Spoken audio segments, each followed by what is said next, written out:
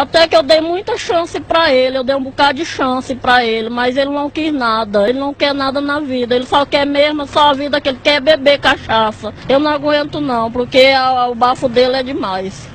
É pode, é assim, quando ele chega em casa eu não aguento. E aí mais a briga dele pior. Eita! E mais que ele é feio, ele parece um macaco. Ah, é feio macaco. Ele parece um macaco, é feio demais, só se você ver. Ele parece um sonhinho. É feio.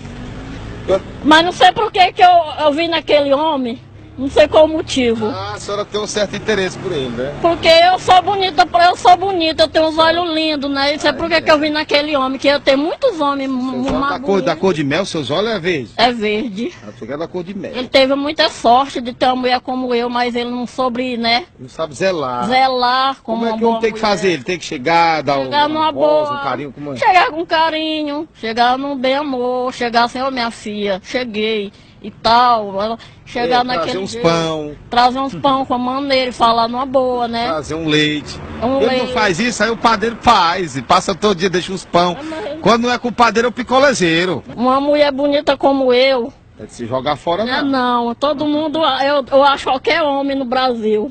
Que uma mulher dessa é simpática, é muito linda. E, e o sorriso dela, mais. O sorriso. Legal demais.